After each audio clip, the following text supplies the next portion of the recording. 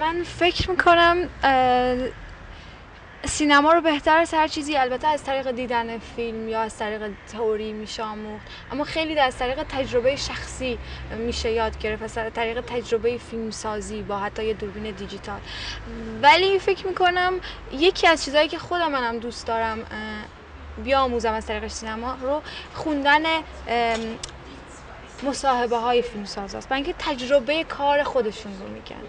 و فکر کنم یه همچین ورکشاپ هایی به این دلیل اهمیت داره که حتی ما یه جمله از تجربه یه فرد دیگه که واقعا وارد کار سینما شده نه به طور تئوری می‌تونیم ببینیم و بشنویم اما برای من چیز دیگه که به شدت جالب و قابل احترامه ایرنه هستش و کسایی که گروه نزدیکی که این فستیوال رو برگزار می‌کنن برای اینکه اصولا این فستیوال به نظر من خیلی فستیوال مستقل و خاصیه و اصولا راه های خاص رو رفتن راه های متفاوت رو رفتن خیلی انرژی و معنای انسانی میطلبه. Ich komme aus Ludwigsburg bei Stuttgart und studiere an der Filmhochschule.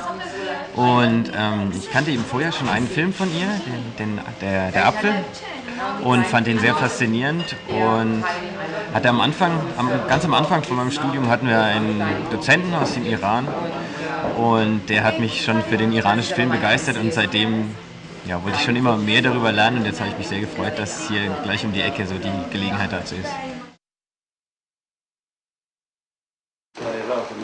Herzlich willkommen zum Workshop mit Samira Mahmoudbach im Rahmen des Filmfestes Frauenwelt von Telefam.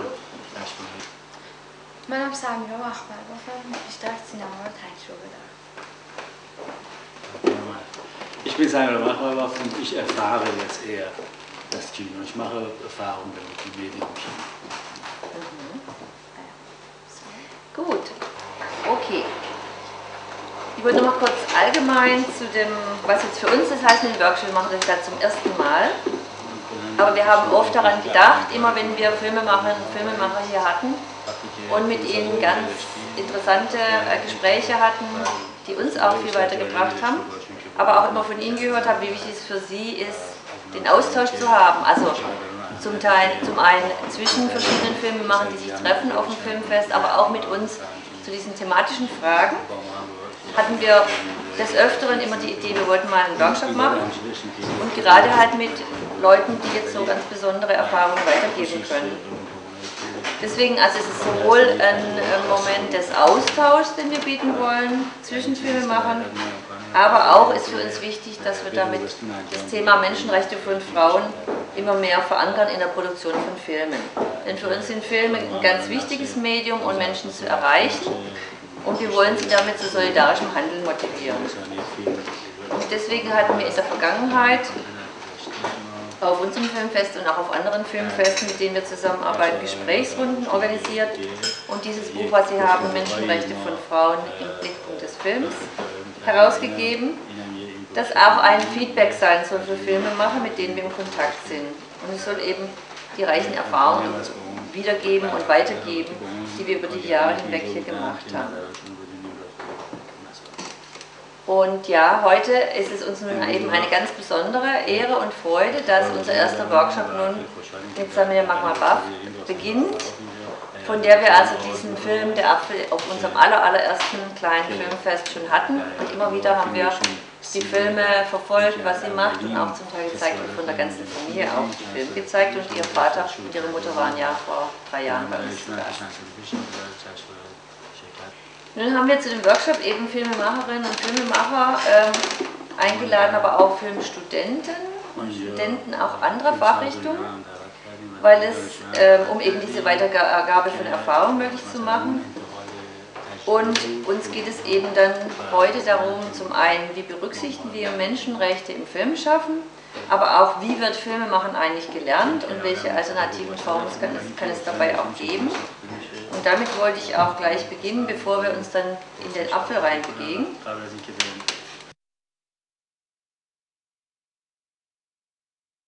Samir Mahmalbach war der Stein des Anstoßes für die Mahmalbach Filmschule, als sie mit 15 Jahren meinte, nicht mehr in, die Schule, in der Schule lernen, sondern Filmemacherin werden zu wollen. Worauf ihr Vater Morsen Mahmalbach für fünf Jahre diese Filmschule, Magmadov Film School einrichtete. Und so meine erste Frage an Samira. Wie haben Sie gelernt in dieser Mahmara Film School und was denken Sie ist das Großartige an dieser Art zu lernen?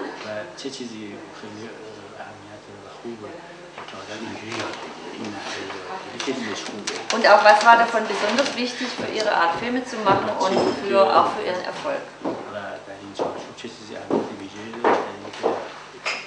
من باید بگم من یه سال قبل از اینکه در واقع دیپلم بگیرم مدرسه رو کردم و خیلی اتفاقا شاگرد خوبی بودم یعنی اهمیت می‌دادم به درسام. و برام خیلی اهمیت داشت که اتفاقا نمرات خوب بگیرم و خوب درس رو یاد بگیرم. اما یه روزی بود یه روزی که زودتر از این حرفا بود تا روزی بود که مطمئن شدم که اون چیزی که از مدرسه می‌گیرم کمتر از اون چیزیه که از دست میدم. من از بچگی یادم که دوست داشتم که وارد کار سینما بشم. نمی‌دونم عشقش شاید به طور طبیعی از وقتی من خودم یادم میاد پدرم و سینما رو هم یادم میاد. توی مدرسه من همیشه می‌دیدم که یه سری قواعدی وجود داره فقط برای حفظ کردن و بعد از مدت انگار تمام کنجکاوی تو از بین می‌رفت. همه چیز معلوم بود از قبل. فقط باید اونجا یه چیزی رو حفظ می‌کردی. سوال و کنجکاوی مطرح نبود. و معلم ها همیشه به نظرم به نظر میمدن کسایی که فکر کنن همه چیز رو می‌دونن. دیگه چیز دیگه برای کشف کردن انگار وجود نداشت. ولی در مقایسه با اون پدرم می‌دیدم که هر بار با اینکه احساس می‌کردم احتمال داره از بعضی از معلم های من بیشتر بدونه ولی همیشه سوال داره همیشه جستجو می‌کنه همیشه تجربه می‌کنه. و از طرف دیگه من فکر می‌کنم یه جوری به طور ناخودآگاه اعتماد به نفس آدم گرفته می‌شد توی مدرسه. مخصوصا شاید چون که یه زن بودم یا یه دختر بودم توی مدرسه ایران. به طور نه خیلی واضح ولی به طور پیچیده ای تو احساس می‌کردی یک سری از کارها هست که پسرها می‌تونن انجام بدن نه دخترها. و یواش یواش تو میپذیرفتی. بعد به نظر من یک فیلمساز نمی‌تونه یک اعتماد به نفس نداشته باشه دو سوال نداشته باشه. برای این دو دلیل من من مدرسه چی هست؟ من به پدرم گفتم که من مدرسه رو کردم. به من اگر میشه توی یه جمله بگو چه کار کنم که سینما رو یاد بگیرم. خندید و گفتش که توی جمله نمی‌تونم بگم. ولی یواش یواش با یه جمله شروع شد تا اینکه رسید به صحبت بین ما و اینکه پدر من تصمیم گرفت که یه مدرسه سینمایی توی ایران برای اونایی که علاقمند هستن. بذاره منتها مخالفت شد با نظر پدرم از طرف دولت و حکومت ایران. پس در واقع این کلاس ها رو ما تقریبا خیلی خصوصی تر برگزار کردیم. خواهر برادرای من و یه سری از دوستان دوستان و فا- فامیل ما که علاقمند بودن وارد این کلاس. کلاس ها تئوری و عملی بود.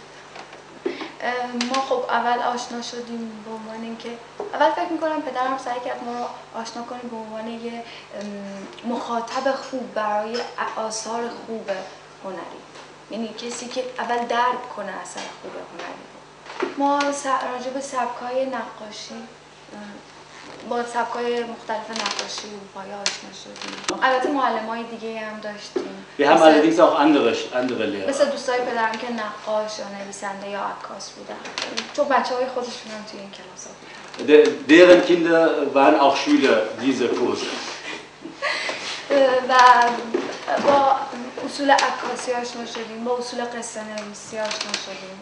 و همزمان کار عملی هم کردیم. به محض اینکه ما یه روز کلاس تئوری داشتیم همزمان ما کار عملی هم کردیم. طوری به طوری که اونقدر ما ندونیم که دستمون نتونه دیگه کار کنیم و نتونیم تجربه کنیم بخاطر همین ما فیلم ما عکاسی می‌کردیم طراحی می‌کردیم با فیلم با دوربین دیجیتال فیلم کوتاه ساختیم. و خیلی خوب تجربه می‌کردیم فکر کنم توی فیلم. آدم توی وقتی که آدم در واقع تینیجر خیلی جسارت داره و خیلی می‌خواد که خودش رو بیان کنه. فکر می‌کنم این نه این کلاس این رو در ما نکشت. و یکی از جملاتی که شروع کلاس های ما پدر من یکی از یک بیت شعری که برای ما خون گفت اینو یادتون باشه هر چیزی رو که یادتون رفت من اینو میگم. اینجا. پدرم گفت آب کم جو تشنگی آور به دست. یعنی اینقدر دنبال این نباش که یه عالم امکانات باشه. تشنه مو... یک چیزی بشه و اون وقت پیدا می‌کنی. توی کلاس های چیزهای دیگه البته ما آموختیم. اینا چیزهایی بود که ما پیشنهاد دادیم. مثل اینکه راجع به فلسفه خودمون مطالعه کنیم و با هم دیگه بحث کنیم و پدرم چیزی به ما یاد بده. یا کتاب های جامعه شناسی روان شناسی. و حتی عرفان. برای اینکه یه بخشی از کار اون سبک نوعیه که حرف می‌زنی و یه بخشی اون چیزیه که می‌خوای بگی. این قسمت دوم به پیشنهاد خود ما بود که بعد اتفاق اما تو این کلاس ما یکی از کلاسایی که پدرم خیلی اصرار داشت بهش ورزش بود مثل شنا کردن. یا می‌گفت هر ورزشی که دوست دارید منتها باید یه ریت رو رد کنید یعنی اندازه ای رو قول بدید و انجام بدید. یا حتی مثلا دو شرخ سواری باید هر کسی می‌تونست یه, یه میزانی از کیلومتر رو دو شرخ سواری می‌کرد. و برای ما عجیب بود که چرا این چیزا؟ یا حتی کلاس آشپزی. و اون بله. که لازمه. می‌گفت اینا همه چیزای زندگیه. یک فیلمساز نمی‌تونه یه انسان ناقص باشه. و یکی از دلایل دیگه که برای این کلاس داشت می‌گفت که اینا به شما اعتماد به نفس از این طرف دیگه وقتی که آدم وارد کار سینما میشه می‌فهمه بعضی وقتا روحت برای جریانی می‌کشه. اما جسمت ممکنه کم بیاره و این ورزش ها اینو پارالل می‌کرد. توی که روحت نره جسمت مونده باشه و بکشی.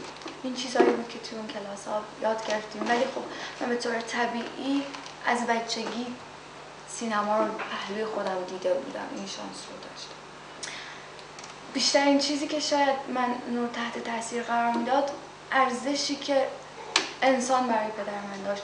واق... انسان های واقعی که توی فیلم های پدر من بودن و چیزهای واقعی که تو روزمره می‌دیدم و سر در میابود از کارهای پدرم سرنوشت مردم که می‌دیدم برای پدرم مهمه این چیز تکوننده بود. نمی‌دونم چجوری یه واقعیت یادم وقتی که شب می‌خواستم بخوابم پدرم اولین مخاطبش مادرم بود و قصه برای مادرم چون یه چیزی رو اگر می‌خواست که وارد سنش کنه بر مادرم تعریف می‌کرد. من می‌دیدم چجوری واقعیت زندگی میاد تو ذهن پدر من با خیالش ترکیب میشه بعد تغییر می‌کنه یه سناریو میشه بعد چجوری این پروسه شکلگیری فیلم اگه به من بگید چطوری بهتر میشه سینما رو یاد گرفتم میگم یکی از بهترین روشهاش ساختن فیلم با دوربین دیجیتال. نه فقط دیدن فیلم و خوندن تئوری. Ja, also es freut mich auch ganz, ähm, dass es ein Wunderbogen geworden ist, darüber, wie sie dort gelernt hat. Und darf, ich kurz was fragen? Ja, bitte? Also ich finde es sehr beeindruckend, diese Schilderung von der Schule. Ich wünsche mir, dass unsere Filmschule ein bisschen mehr so wäre wie die Magmal Buff School. Wir haben leider keine Kochkurse und keinen Sport, keine Philosophie. Philosophie, Falsafe, Kurs Aşpazı nedir? Alle reden nur über Film und es geht nur um Film. Das ist manchmal ein bisschen schade. Filme, Einseitig. Aber mich würde interessieren, ob es diese Schule noch gibt. Und, oder ob es vielleicht einen Film über diese, diese Zeit gibt. نه متاسفانه فیلمی در مورد وجود نداره البته تیکه هایی از مدل کاری که ما می‌کنیم وجود داره تو پشت هایی که گرفته شده ولی این مدرسه می‌تونم بگم یه جورایی ما فارغ و تحصیل شدیم ولی هرچند که شاید خودمون به طور تجربی خودمون رو هنوز دانش آموز بدونیم ولی بقیهش دیگه تجربیاتی که ما می‌کنیم Also ich habe ja, ähm, hab ja einen von diesen Making-ofs gesehen. Ich از این فیلمایی که چگونه می‌سازه رو دیدم چگونه Mich hat das ganz, ganz stark beeindruckt, äh, wie, wie körperlich diese Arbeit ist. که این کار چقدر به اصطلاح کار جسمی هم هست کار بدنی هم هست Und ich habe mich halt gefragt, also das kann man ja nicht lange durchhalten. Also ich, würde sagen maximal irgendwie drei Tage und danach ist doch Ende. Also deswegen würde ich gerne mal wissen, wie lange schafft sie das irgendwie, sowas durchzuziehen. فرق داره هر فیلمی ولی اصولا فیلم ها توی تا حدود چهل روز طول می‌کشه دوره فیلم برداریش من می‌تونم بگم شاید من جسم اونقدر قوی ندارم هرچند که ورزشم کردم. و در موقع مختلف متفاوت انرژی من. من فکر می‌کنم بعضی وقتا علاقه ای که به یه موضوع داری و وقتی دیگه داری یه حرفی رو بیان می‌کنی شاید دیگه جسم تو یادت میره. و نمی‌فهمی این چطوری کشید فکر می‌کنم هر آدمی با این چیز مواجه میشه. لحظاتی هست که خودش از انرژی که داره حیرت می‌کنه. به دلیل عشقی که به یه چیزی داره.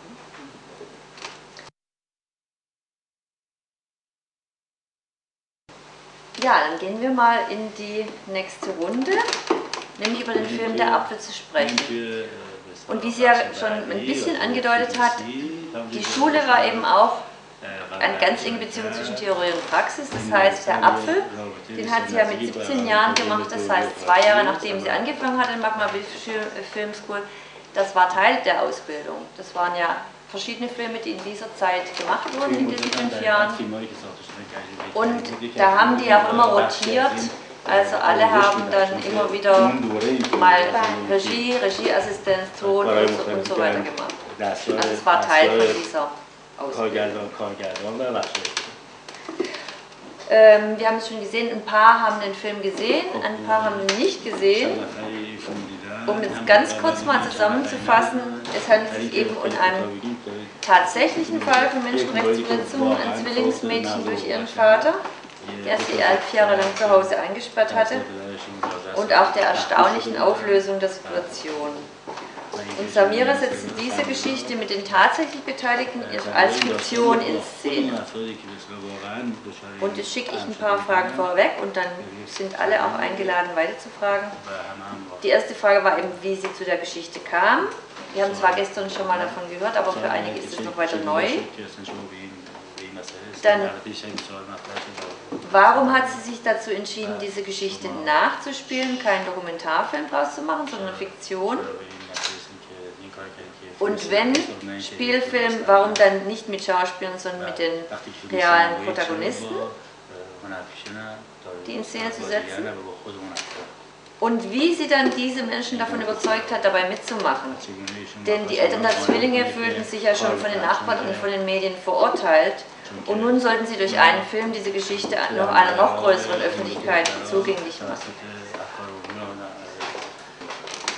وقتی که من این در واقع رپورتاج رو توی تلویزیون دیدم که پدر مادر دو تا بچه اونا رو برای 11 سال تو خونه زندگی کردن. اول به شدت به نظر این موضوع دردناک بود. تو که اصلا نتونستم شب بخوابم. احساس کردم چطور ممکنه یه پدر مادر علیرغم عشقی که به بچه هاشون دارن اونا رو زنده می‌کنن؟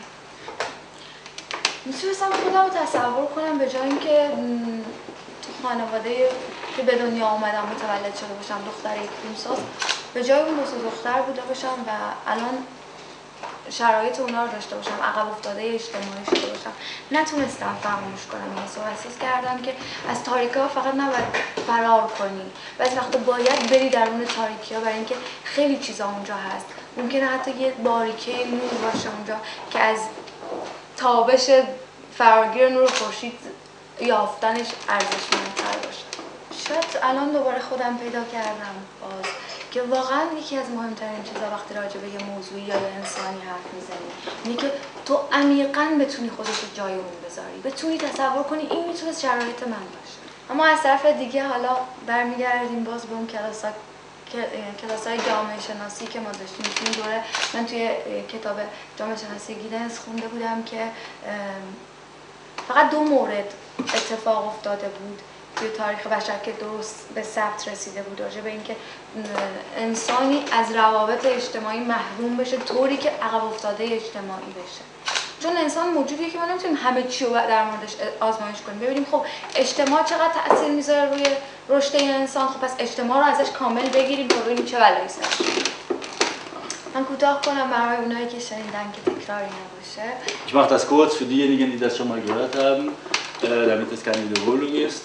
Gestern Abend چرا مردم واقعی خب مگه می‌شد من برم دو این دو تا بچه رو رها کنم و برم تصور کنم چه بلایی می‌تونه سر انسان بیاد وقتی که روابط اجتماعی نداشته باشه؟ یا به جای اینکه این پدر رو ببینم ببینم چه چیزی باعث شده چه چیزی پشت عواطف قوی پدر مادر می‌تونه باعث شه زندانبانای بچه خودشون بشن؟ برم خودم تصور کنم. اولین چیزی که به خودم گفتم گفتم سمیرا وارد این مقوله نمیشی با پیش داوری و قضاوت.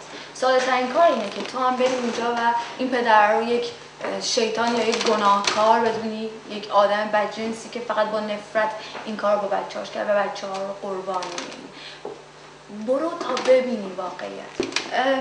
خب می‌تونست خیلی سخت باشه. دو تا بچه‌ای که اصلا بلد نبودن صحبت کنن بازی گرفتن از اونو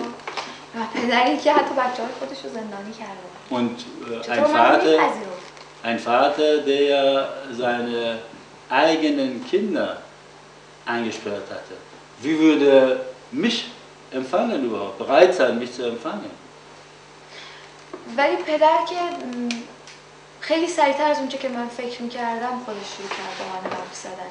انگار که قبل از من هر کی که رفته بود انقدر که اونو متهم کرده بود اصلا نش گوش نداده بود به حرفش وقتی می‌دید که این نفر اینجاست که ام- امکانی وجود داره که به حرفش گوش بده می‌خواست که حرف بزنه. اون خودش منو برد به خونشون اون خودش دفترچه‌شو برای من باز کرد. اون خودش قصه زندگیشو شروع کرد تعریف و بچه هم اولین نگاهی که به من داشتن خیلی نگاه بت و نگاه که به این لیوان می‌تونستن داشته باشن بود.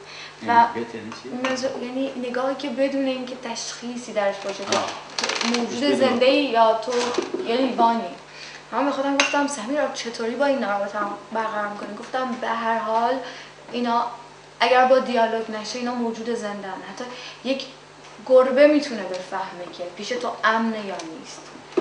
می‌تونه نوازش تو رو حس کنه.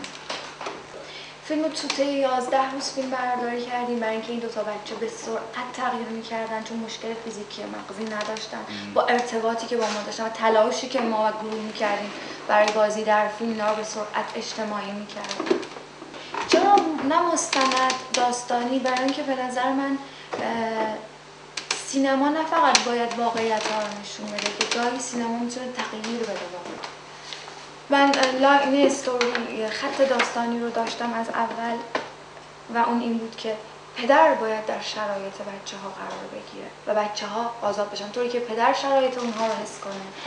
پشت میله های زندان بودن و بچه ها به طور طبیعی و غریزی با جامعه روبرو بشن تا ببینیم این چه, چه اتفاقی براش و تیکه های وقایع دیگه فیلم همه روز به روز نوشته شده. یعنی چیزهایی که من در واقعیت می‌دیدم و بعد این طبق این داستان شب به کمک پدرم می نوشتیم و فردا صبح اکرام شد. و دیالوگا به هیچ عنوان نوشته شده نبود که دیکته بشه.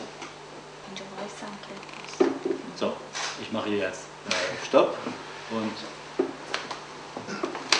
Wie viel Zeit lag eigentlich zwischen, wo das, ähm, der Fall in der Presse bekannt wurde und dem Beginn der Dreharbeiten? Servus. Drei Tage. Wow. Wow. Three days.